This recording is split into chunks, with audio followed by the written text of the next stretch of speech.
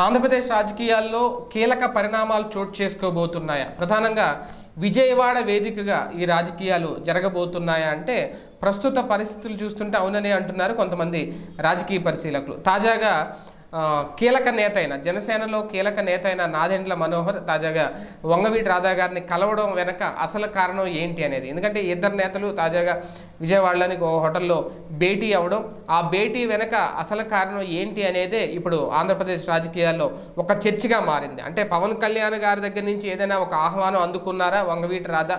ప్రస్తుతం తెలుగుదేశం పార్టీలో ఆయన అంటీ అంటనట్టుగా కొనసాగుతున్న నేపథ్యంలో ఆయన్ని జనసేనలోకి చేర్చుకునే ప్రయత్నం మొదలైందా? లేదంటే ఆయనే జనసేన మీద దృష్టి సారించారా? ఏంటి అనేది తాజా పరిణామాలు వెనక అసలు కారణం ఏంటి అనేది బయటికి రావాల్సిన అవసరం ఉంది. కాకపోతే జనసేనలో పవన్ కళ్యాణ్ గారి తర్వాత స్థానంలో ఉన్న నాదెండ్ల మనోహర్ గారు పార్టీని బలోపేతం చేసే విషయంలో కొంతమంది సీనియర్ నాయకులు నాయకుల్ని అంటే తెలుగుదేశం పార్టీలో ఉన్న నాయకులు కానివ్వండి కొంతమంది సీనియర్ నాయకులు ఎవరైతే వాళ్ళని జనసేనలోకి తీసుకొచ్చే ప్రయత్నం మొదలుపెట్టారు అనడానికి ఇదే మొదటి పునాది అవుతుంది. ఒకవేళ ఈయన గనక పార్టీలో చేరితే అనేది. ఎందుకంటే ఇప్పటివరకు అంత సీనియర్ నాయకులు ఎవరూ లేరు.